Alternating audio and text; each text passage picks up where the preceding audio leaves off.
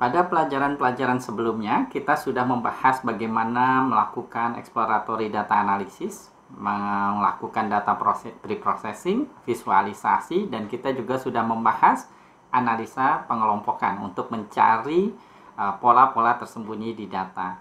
Pada kesempatan kali ini kita akan membahas uh, salah satu metode di data mining yang sangat bermanfaat yaitu association rule atau biasa juga disebut sebagai market basket analysis. Nah, metode ini digunakan pada data transaksional. Mari kita simak bersama.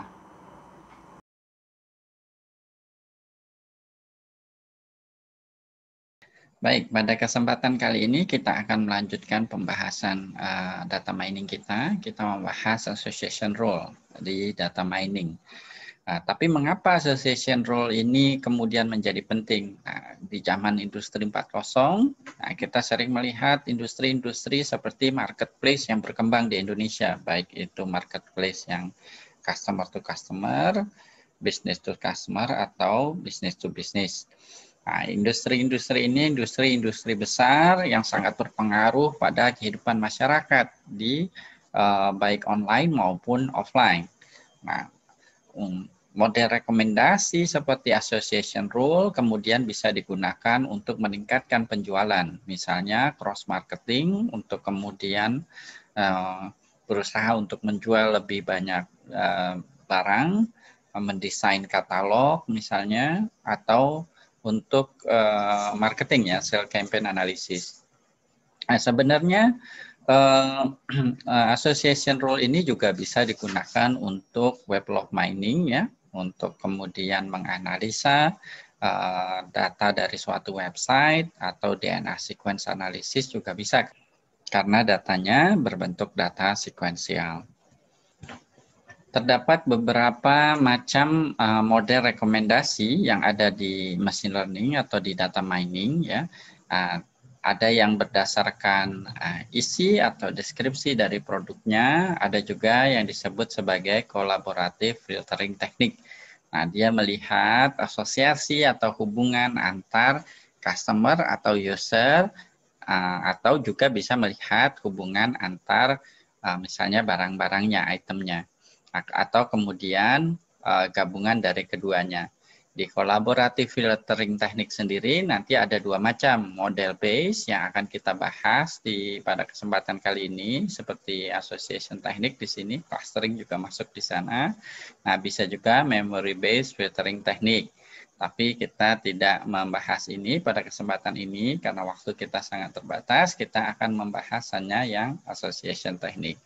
Pada pembahasan model-model machine learning atau data mining yang lebih advance, kita kemudian bisa membahas model-model yang lebih kompleks. Nah, seperti yang tadi kita uh, sudah bahas di slide sebelumnya, maka kita akan membahas di sini uh, kolaboratif uh, filtering teknik, di mana kemudian kalau ada si A misalkan membeli item uh, dan B membeli item yang sama, kemudian kita bisa uh, merekomendasikan barang tersebut ke A dan atau B dari bergantung dari apa yang ia uh, kalau dalam hal ini membaca ya, tapi juga sama pada prinsipnya kalau misalnya barang suatu barang itu dibeli. Begitu juga content based filtering teknik. Nah, kalau content based ini berarti uh, kita lihat deskripsinya. Misalnya kalau si A ini membaca item di sini item B, Nah, sedangkan item B ini isinya mirip dengan item C, maka si item C kemudian direkomendasikan ke A. Ini disebutnya content based filtering teknik. Nah, contoh lainnya di marketplace misalnya ada seorang pembeli user satu, dia melihat produk satu. Nah, produk satu memiliki deskripsi Nah, deskripsinya ini misalnya mirip dengan produk dua. Karena produk dua mirip deskripsinya dengan produk satu, maka produk dua juga bisa direkomendasikan ke produk satu. Ini adalah content base. Sedangkan tadi kalau uh, uh, collaborative filtering ada user satu, dia membeli barang A dan B misalnya. Nah, user dua juga membeli barang A. Maka kemudian barang B direkomendasikan ke user 2 seperti itu. Nah, kita pada kesempatan kali ini akan membahas model rekomendasi ini. Nah, association analysis ini sebenarnya intinya adalah mencari hubungan atau link antar variabel menurut himpunan rekor di data. Link ini disebut sebagai asosiasi atau association. Sebenarnya ada tiga macam association yang kemudian kita bisa olah di data. Yang pertama adalah ketika datanya tidak terurut, ya seperti yang akan kita bahas di uh, lesson kali ini. Nah, bisa juga tapi datanya kemudian terurut. Ada informasi kemudian barang apa dulu yang kemudian dibeli, nah, lalu barang eh, apa kemudian setelah itu dan seterusnya. Nah, ini kita bahas di lain waktu. Nah, terus terakhir eh, adalah apabila datanya tidak stasioner, jadi dia bergantung waktu. Misalnya Nah, kejadian pembelian suatu barang oleh customer di waktu-waktu tertentu. Nah, ini terkait misalnya log analisis di web mining. Nah, contohnya misalnya pada saat-saat uh, Ramadan misalnya Nah, maka atau bulan puasa nanti ada banyak eh, user-user yang cari resep masakan, misalnya seperti itu, maka uh, itu berarti bergantung waktu atau mendekati waktu liburan akhir tahun misalnya Nah, lebih banyak misalnya user yang mencari hadiah seperti itu dan seterusnya. Association Rule sendiri punya nama lain atau sebenarnya lebih tepatnya salah satu aplikasi dari Association Rule adalah Market Basket Analysis. Ini adalah aplikasi yang uh, paling populer dia Association Rule. Nah, permasalahannya adalah ketika seorang customer kemudian membeli suatu barang, maka barang apa lagi yang kemudian uh, kemungkinan akan ia beli seperti itu. Market basket analysis juga kemudian bisa digunakan untuk meyakinkan agar seorang customer yang berbelanja misalnya di sebuah pusat perbelanjaan, dia tidak lupa untuk memberi barang-barang lain yang biasanya dibeli bersamaan. Maka kalau ada dua barang yang seperti itu, Ya, di toko atau di supermarket dia bisa meletakkan kedua barangnya berdekatan sehingga seorang customer kemudian tidak terlupa untuk membeli keduanya. Pada dasarnya teori dari association rule tidaklah rumit, bahkan ia bisa kemudian dirangkum dalam sebuah paragraf. Ya, tadi association rule berusaha menemukan semua himpunan item atau item set, jadi himpunan dari item-item yang memiliki support lebih besar dari sebuah minimum support yang kita tentukan nanti. Kemudian menggunakan item set item set yang signifikan untuk menghasilkan aturan atau pola belanja nanti kalau dalam market basket analysis yang memiliki confidence lebih besar dari suatu minimum confidence. Jadi kita ada dua parameter di sana, minimum support dan minimum confidence. Nah, rule ini akan dinilai berharga atau signifikan berdasarkan suatu nilai lift nanti. Nah, aplikasi yang paling populer dari Association Rule ini tadi kita sudah bahas yaitu Market Basket Analysis. Nah, di sini kemudian kita menemukan ada beberapa istilah. Nah, apa istilah-istilah ini? Mari kita bahas bersama. Sebelum kita membahas beberapa metrik yang telah disebut tadi seperti confidence, support, dan lift, nah kita bahas dulu elemen dasar di datanya. Nah, dalam uh, association rule data berbentuk seperti data transaksi seseorang ketika berbelanja misalnya. Nah, masing-masing barang di dalam uh, data transaksi tersebut kita menyebutnya sebagai item. Lalu kumpulan beberapa item tersebut istilahnya adalah item set. Contohnya item adalah seperti roti, susu, minuman ringan, uh, mie instan, dan lain sebagainya.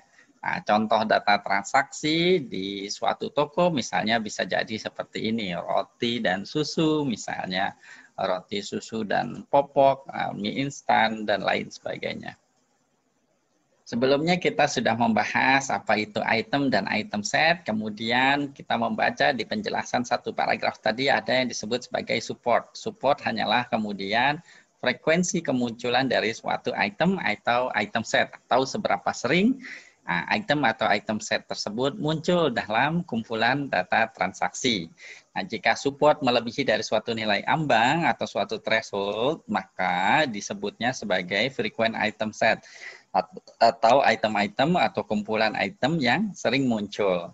Nah, sebuah rule atau aturan biasanya ditulis seperti ini. Nah, X hmm, ini seperti jika maka ya, jadi X disebut antecedent, Y disebut konsekuen. Nah, ini adalah rule. Jadi misalnya kalau seseorang beli susu dan popok, maka dia juga membeli bir. Ini adalah aturan atau rule. Nah, apakah rule ini nanti disupport di data? Apakah banyaknya memiliki pola belanja seperti ini? Nanti kita akan hitung berdasarkan metrik-metrik yang ada.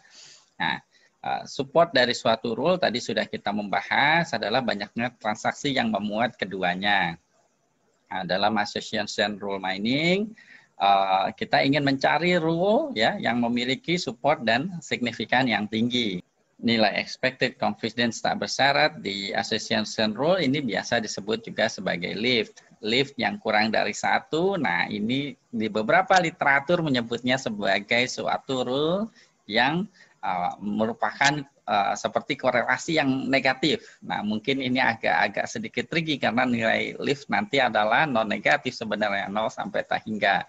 Tapi kurang dari satu artinya dia adalah kurang dari ekspektasinya. Sedangkan satu adalah netral dan yang uh, kita tertarik biasanya adalah nilai lift yang tinggi atau besar ada beberapa cara dalam kita menggunakan uh, informasi-informasi uh, yang kita dapat dari association rule ini. Misalkan kalau kita mendapatkan rule yang kuat, kita bisa meletakkan kedua barang itu berdekatan atau bahkan berjauhan agar kemudian konsumen melihat barang-barang yang lain. Nah, bisa juga disatukan dalam satu promo, nah, dua barang yang sering dibeli bersamaan atau bahkan dua barang yang jarang dibeli bersamaan karena kemudian supaya barang yang laku mengangkat gitu ya barang yang tidak laku seperti itu. Nah ini uh, bisa juga kemudian naikkan harga suatu barang lalu turunkan yang lain. Nah, melihat misalnya harga di toko sebelah atau saingannya seperti itu ya. Nah ini uh, biasa terjadi uh, ketika suatu barang di satu toko lebih murah dari toko yang lain, tapi barang yang lainnya belum tentu demikian. Jadi tidak semuanya lebih murah seperti itu.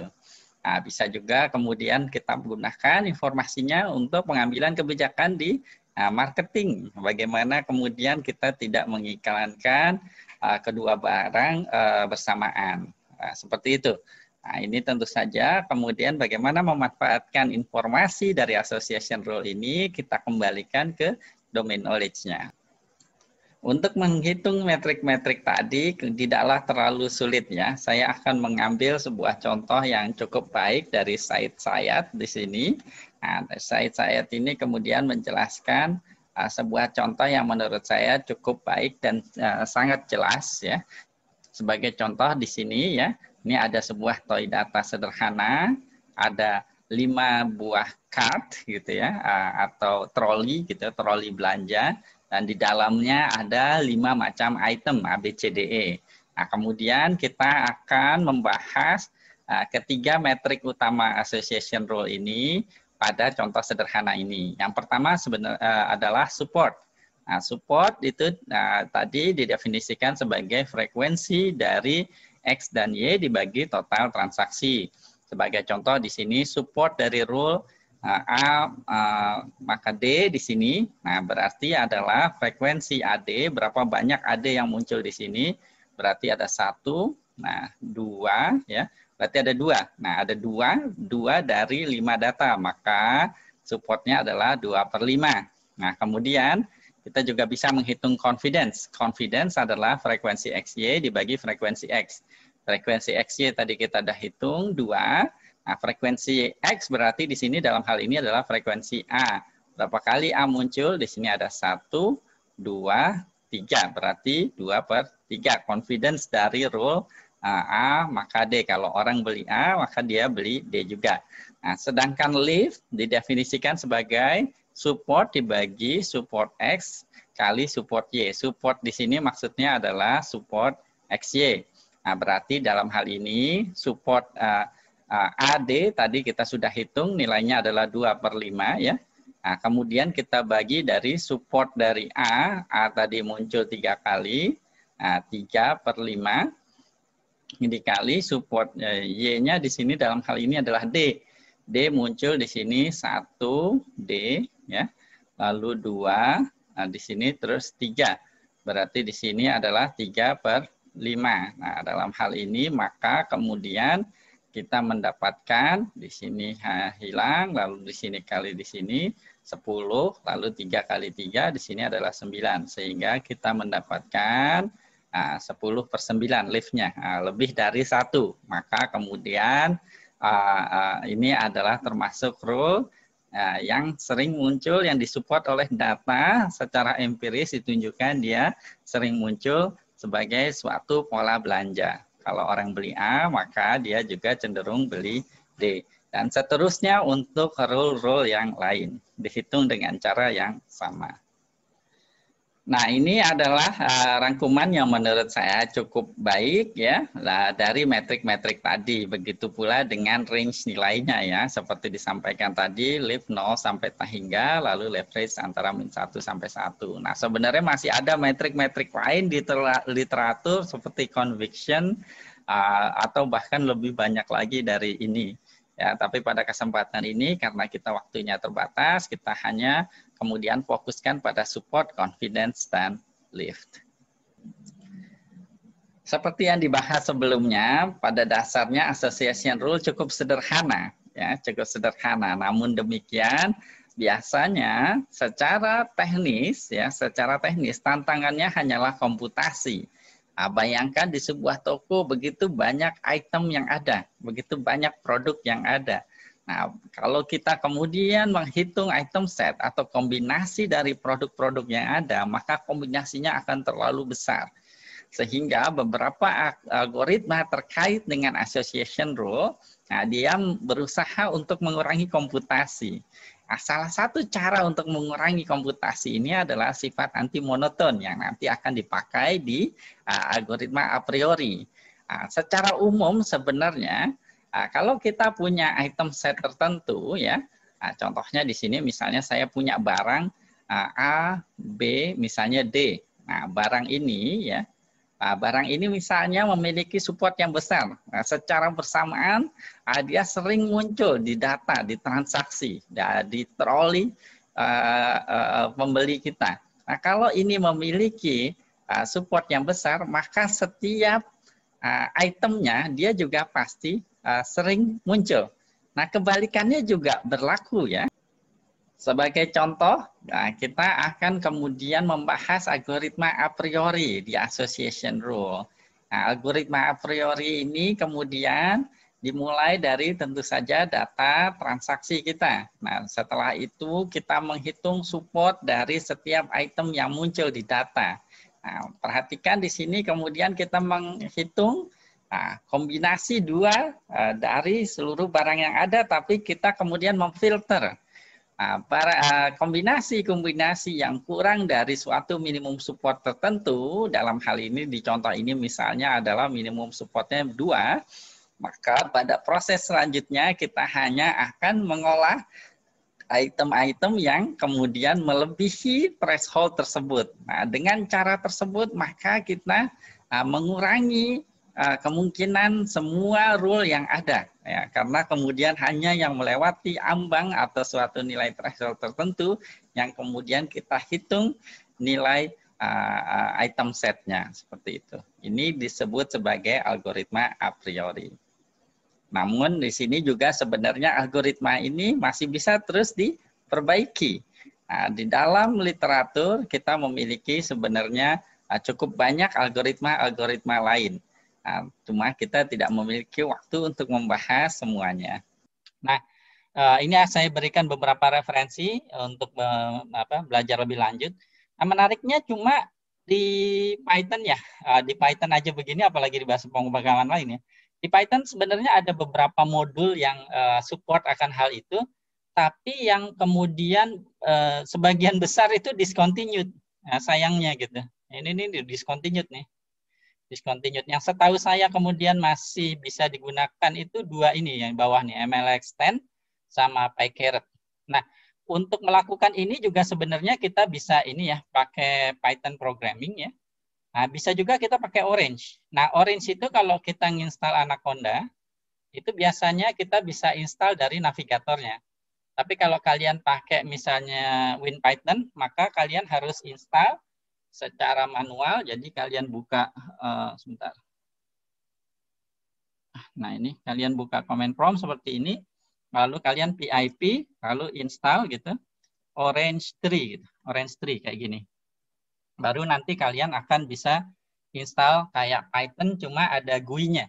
Nah, bagi mereka yang nggak suka pemrograman tapi suka analisa data, nah ini sangat baik sekali. Nah, ini tampilannya dia akan kayak uh, Rapid Miner kalau kalian tahu Rapid Miner. Nah, saya akan coba uh, demokan. Nah, ini orange ya. Ini orange. Oke. Okay. Nah, ini open source ya, gratis. Dia sebenarnya Python, jadi dia cuma ada GUI-nya gitu, ada tampilannya, ada interface-nya. Jadi kita tidak perlu uh, pemrograman hanya drag and drop aja. Oke, nah, seperti ini. Sebentar, saya tunjukkan. Nah, untuk melakukan market basket analysis, dia uh, sangat mudah sekali. Saya sudah berikan filenya di yang uh, modulnya itu. Uh, kalian bisa unduh, uh, silahkan. Nah, ini contohnya data mining association role.ows. Ya, silahkan aja di open.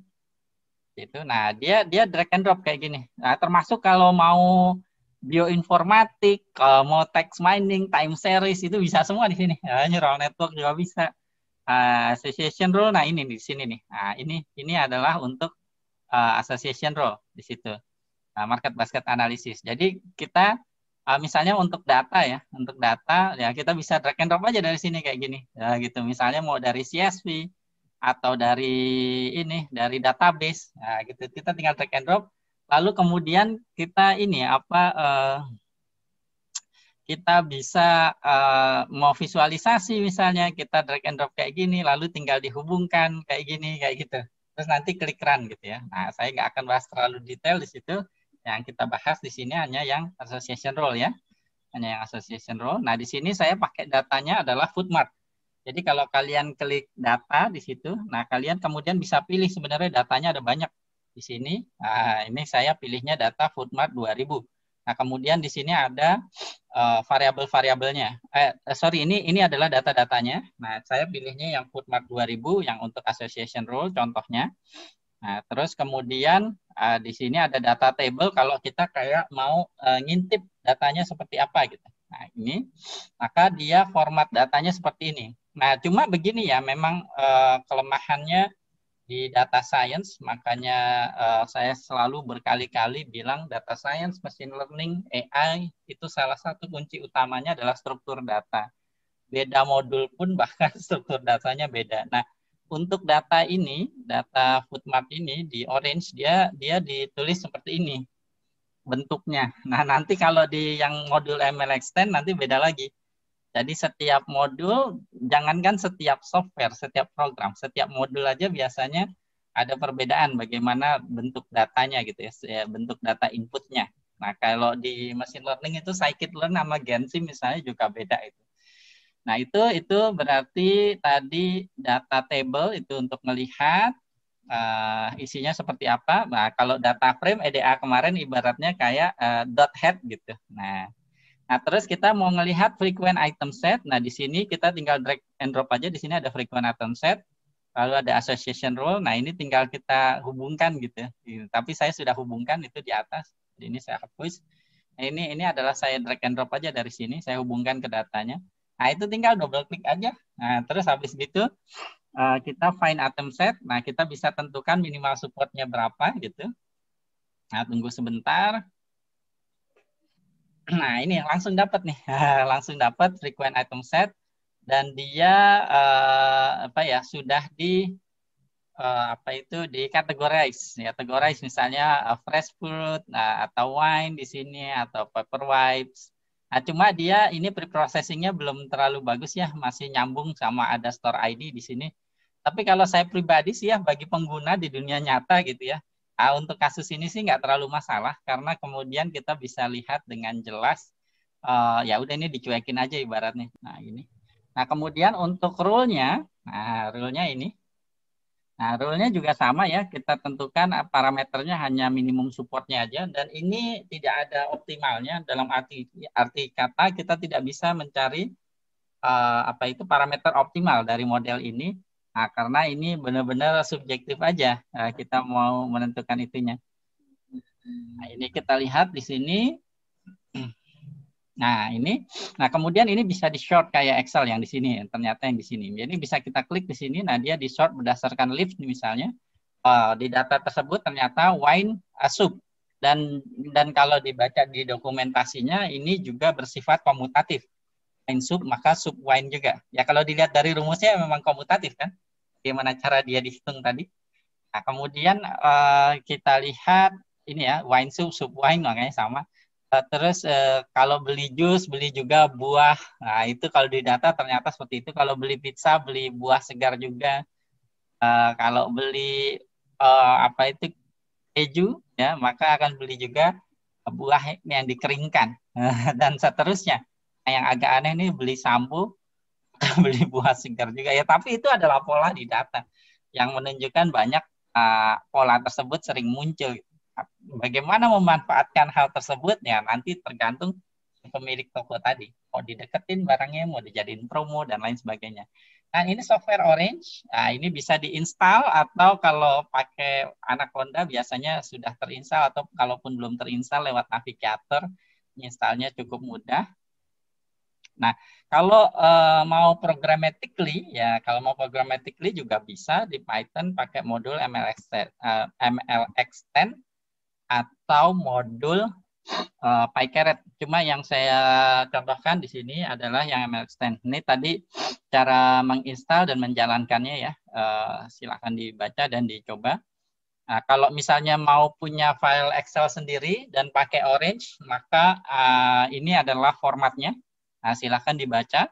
Nah, dia formatnya adalah format tabel yang agak unik sih. Nah, ini dia struktur data itu memang di data science dan machine learning itu tricky ya. Jadi dia formatnya adalah kalau data kan biasanya baris pertama variabelnya sama variabel, terus baris kedua dan seterusnya adalah nilai-nilainya. Nah, kalau di Orange itu beda. Jadi kalau di Orange uh, baris pertama itu meta dari variabelnya. Jadi uh, apa itu uh, keterangan kalau nggak salah ini uh, sebentar. Iya, ya metanya di sini benar. Nah, terus di baris kedua itu adalah eh sorry, baris pertama adalah namanya, nama variabelnya. Nah, terus baris kedua adalah tipe variabelnya, misalnya digit, string, ya, kategorik, C gitu ya. Nah, seperti itu. Nah, perhatikan, dia nggak pakai tipe data Stephen. Waktu saya di EDA 02, saya bilang, mengkategorikan data itu tidak semua pakai Stephen. Banyak software nggak pakai Stephen. Ya, Stephen itu yang nominal, ordinal, uh, apa uh, apa itu uh, interval rasio. Nah, kalau kayak gini kan berarti nggak pakai itu. Nah kemudian di sini adalah uh, apakah dia meta, kelas, ataukah di-ignore, dia tidak diikutkan dalam uh, apa itu uh, pengolahan data. Nanti masih ada lagi T itu waktu dan lain sebagainya. Nah, silakan dibaca lebih lanjut sendiri. Nah itu ini tadi sudah saya contohkan di Orange. Nah, kalau di Python, kalau mau melakukannya programmatically, nah, tapi kayaknya enakan di Orange sih sebenarnya. Nah, ini terus ya silakan install modulnya dulu, ML Extend terutama kalau PyCaret itu optional. Saya belum sempat menginikan, menambahkan di sini. Nah, ini kita load ya, kita load. Di sini ada a priori, association rule. Nah, sebenarnya kalau misalnya kalian hardcore programmer, suka programming karena memang teorinya tidak terlalu susah ya kalian bisa sebenarnya pakai modul counter sama modul ini ya uh, kombinatoriknya ada namanya combination itu modul dari itertool nah itu kalian bisa kemudian menghitung aja frekuensi biasa. Nah kalau misalnya kalian emang rajin. Nah ini contohnya di sini misalnya ada beberapa transaksi ya dalam bentuk seperti ini bread, cook, diaper, milk dan lain sebagainya Nah, kita bisa kemudian mengeluarkan kayak di matematika diskrit ya, kombina, kombinatorik. Nah, misalnya di sini kalau dari data ini misalnya subset 3 dari kemudian 12378, maka bisa 123, 127, 128 dan seterusnya. Nah, itu bisa kita membuat subset dari data tersebut. Nah, kita bisa juga pakai dari itertool ada fungsi namanya counter. Nah, kemudian kita ngitung berapa banyak bir, berapa banyak bread, banyak berapa banyak diaper dan lain sebagainya sehingga ngitung ini apa itu uh, confidence atau support. Nah, itu jadi lebih mudah. Kemudian karena frekuensi bisa dihitung lewat modul counter. Tapi itu kalau rajin sih, kalau rajin kemudian ingin bikin programnya sendiri silahkan aja. Tapi kalau enggak, nah kita bisa ini contohnya adalah, nah ini saya ngambil contoh dari sini ya, linknya saya berikan pbpython.com lalu ada market basket analysis. Nah, saya ngambil dari situ. Uh, kalian bisa meinikan sendiri, modifikasi sendiri. Nah, ini datanya agak lebih unik ya, agak lebih unik. Di sini dia nah, perhatikan datanya, struktur datanya beda dengan si orange tadi. Lihat, invoice number kan berarti kalau sama berarti satu transaksi ya. Nah, dia per baris itu uh, bisa uh, apa itu be, apa satu transaksi itu bisa jadi beberapa baris tergantung dia beli berapa item gitu. Nah, jadi misalnya di sini transaksi 536365 Nah, ini ini sampai sampai sini dia lima pertama masih transaksi itu invoice-nya masih sama ya, berarti satu struk belanja gitu ya. Lalu kemudian berapa barang itu dibeli, kuantitinya, unit price-nya, invoice date, customer ID, uh, country dan lain sebagainya. Nah, ini format datanya seperti ini. Nah, tapi ini format data awal. Nah, di ML Extend sendiri dia nggak pakai kayak gini. Nah, Nah, kalau di sini kemudian setelah data ini di-load, dia sedikit pre-processing ya karena misalnya uh, dilihat di sini uh, apa itu description misalnya berdasarkan description Nah, itu kan nanti kalau huruf besar huruf kecil bisa berbeda gitu ya. Nah, maka di di strip di lower gitu. Terus di sini invoice number di change sebagai string dan lain sebagainya. Terus uh, ada kode-kode tertentu nih sekedar preprocessing saja yang kalau ada C-nya dia di remove nah, karena satu dan lain hal misalnya menurut pengkodean penyimpanan data di tokonya.